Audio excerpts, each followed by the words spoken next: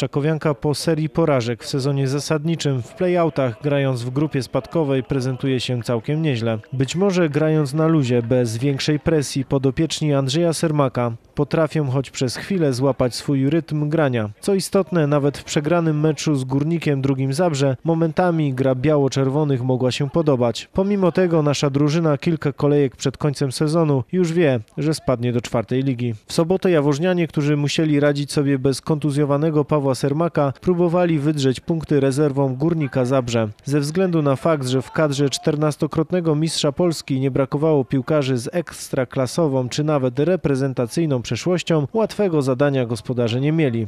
W zabrzańskiej drużynie kibice mogli oglądać w akcji m.in. Seweryna Gancarczyka, mającego na koncie kilka występów w kadrze, Macieja Mańkę, Tomasa Majtana czy Szymona Drewniaka, wypożyczonego z Lecha Poznań. To właśnie ostatni z wymienionych szybko tworzył wynik meczu, pokonując już w szóstej minucie meczu Krzysztofa Smoka.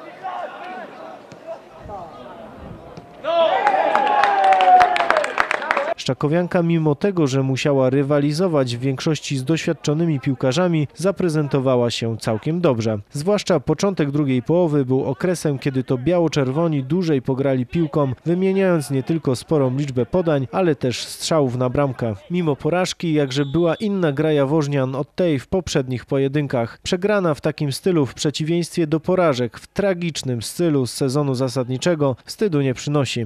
Jaworznianie pokazali jednak, że mają charakter i potrafią grać w piłkę. W końcówce co prawda naszym piłkarzom zabrakło paliwa, jednak gra przeciwko poprawnie zorganizowanemu taktycznie zespołowi nigdy nie jest łatwa. Brawa dla drużyny za ostatnią formę i oby tak dalej. Niestety to koniec optymizmu, ponieważ pomimo tej dobrej gry drużyna spada do czwartej ligi. Dzieje się tak pomimo rekordowej dotacji z Urzędu Miejskiego. Od połowy sezonu sytuacja Szczakowianki nie była łatwa. Sceptycy przepowiadali spadek do czwartej ligi. Niestety ten scenariusz sprawdził się. Pieniądze, które zdecydowali się przekazać włodarze miasta, nie pomogły ligowym sukcesom Szczakowianki. Przez wiele lat pieniędzy dla drużyny nie było. Teraz z perspektywy czasu można wnioskować, że pomoc dla klubu przyszła zbyt późno.